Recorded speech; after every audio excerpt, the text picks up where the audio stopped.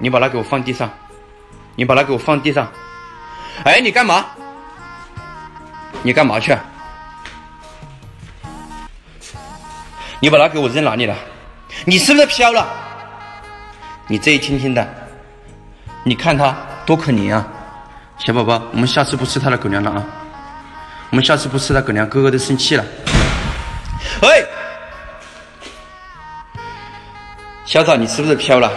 你还把门给我关上，把门给我打开，把门给我打开，把门给我打开。